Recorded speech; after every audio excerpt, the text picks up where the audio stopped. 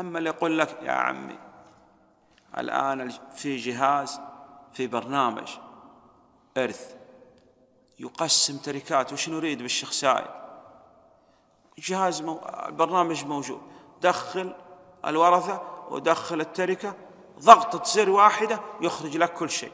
طيب ممكن هو يدخل الزوج يكتب أب؟ صح أم لا؟ لأنه أكثر الناس اليوم يقول توفي والدي. طيب إحنا ما نبغى والدك نبغاه ميت. وبعدين ننظر القرابة طب ممكن والدي من الرضاعة يرث هو مسكين هو. لأن هذا يعني معليش يعني هذا الكمبيوتر الآن ما يفهم شيء. هو ما ما يقول لك هذا أخ لأب أخ لأم أحيانا أحيانا بعض يسألك. لكن ممكن قال أنا ابن. هو ما يساله ممكن ابن من الرضاعة. صح؟ وإحنا نحقق الآن مع هذا. لأن الآن شيء يسميه عندنا القضاة يسموه حصر ورثة حصر ورثة. بعد عمر طويل في طاعة الله توفي الشيخ سايد. نكتب الخمسة وعشرين وارث ونجي نجيب اثنين شهود. تعرف سايد؟ وعائلة سايد قال نعم. تعال. اسمك فلان ابن فلان. شهد لدي أنا القاضي فلان ابن فلان فلان ابن فلان في يوم كذا كذا. أنه قد توفي بعد عمر طويل في طاعة الله الشيخ سعيد وانحصر إرثه فيه عنده زوجة؟ قال نعم اسمها. قال سعاد. كتبنا سعاد. طيب نمشي على الورثة. الوارثين وارثات عنده ابن؟ قال نعم عبد الرحمن. غير موجود؟ قال لا. طيب ابن ابن. تكتب كل شيء وبعدين تحجب. ابن الابن؟ قال لا ما في. الأب؟ قال نعم. موجود؟ قال نعم موجود. كتبنا. الجد؟ كذا. كذا كذا. تكتب الوارثين والوارثات. مفهوم؟ ثم بعد هذا نبدأ بالحجب. فالكمبيوتر الآن ما يفهم بعض الأشياء. عندنا أحيانا يعني الآن صحيح في البرامج الجديدة صنعوها الآن في الإرث. لكن إخواننا تعطل علم كامل طيب خليه يصلي عنك الآن ويصوم عنك.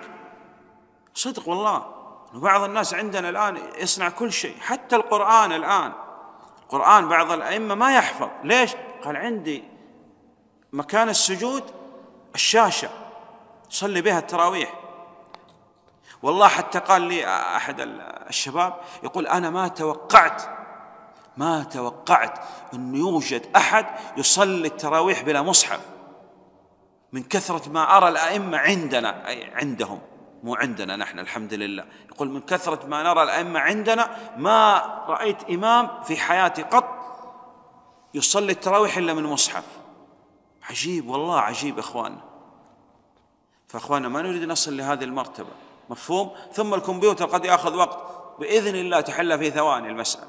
وتخطى الكمبيوتر. كان عندنا بعض الشباب أحيانا في الجامعة يقول للشيخ للدكتور يقول خطأ المسألة. فتضبط المسائل وتمشي على هذا. لا تغتر لكن لابد من حفظ. ثم الجنة إخواننا هذا طريق الجنة. وقل ربي زدني علما. ما قال زدني مالا زدني كذا. لم يؤمر النبي صلى الله عليه وسلم بأن يستزيد من شيء إلا من العلم. وقل رب زدني علما. هو فرضي. أسبوع واحد تتعب معنا وتصبح فرضي. نعم يا رجل. طيب موعدنا غدا. ها؟ إن شاء الله. إذا الكل يسأل غدا إن شاء الله تعالى. والمؤمنون على شروطهم. عندنا ثلاثة أيام اليوم وغدا وبعد غدا إن شاء الله تعالى. لا يتغيب أحد لأن العذر عندنا في الغياب معروف عند شيخنا الله يرحمه الشيخنا الزليفاني. العذر للغياب ما هو؟ الموت. كان الشيخ عندنا رحمه الله ما يقبل أي عذر إلا الموت. يقول فلان مات خلاص يعذر. غير كذا والله ما يعذر ولا يمكن يعذر.